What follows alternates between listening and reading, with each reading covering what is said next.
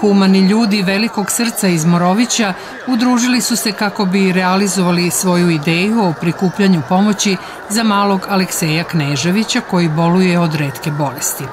On je najmlađe dete leptir u Srbiji jer je beba od svega tri meseca. Za njegovo lečenje i terapiju roditelji nemaju novca i potrebna im je pomoć.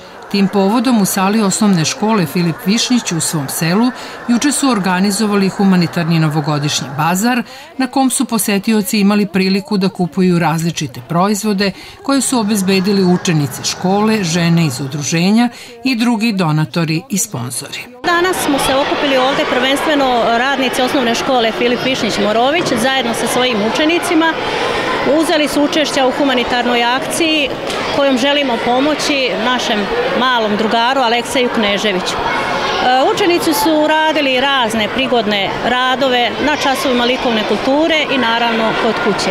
Naravno, zajedno sa svojim roditeljima e, predstavili su se jako lepim radovima koji su za svaku pohvalu. Naša škola je uvek uzimala učešće u mnogim humanitarnim akcijama i ovo je jedna od tih. Ja bih da se zahvalim radnicima naše škole, prvenstveno i našoj direktorici i svim ostalim koji su obezbedili uslove da možemo ovo da realizujemo.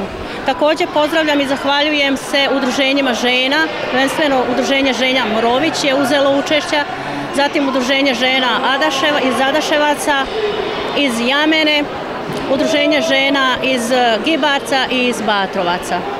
Izvinjavam se ako sam nekoga možda preskočila. Nadam se da ćemo se lepo provesti, da ćemo se lepo družiti i nadam se da ćemo pomoći našem Alekseju i trudit ćemo se da i u buduće učestvujemo u ovim raznim humanitarnim akcijama koje bude organizovala naša škola ili uopšte naše društvo, ako se ukaže potreba.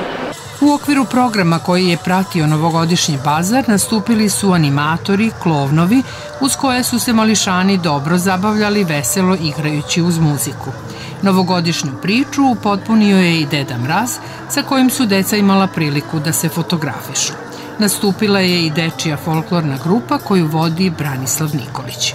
Posetioci su imali i priliku da kupe razne novogodišnje ukrase, poput posnih i mrsnih kolačića, kiflica i drugih peciva, jabuka, meda, bilo je tu dečje garderobe i mekanih plišanih igračaka. Jednom rečju za svakoga po nešto, vrlo lepa zabava sa humanim ciljem.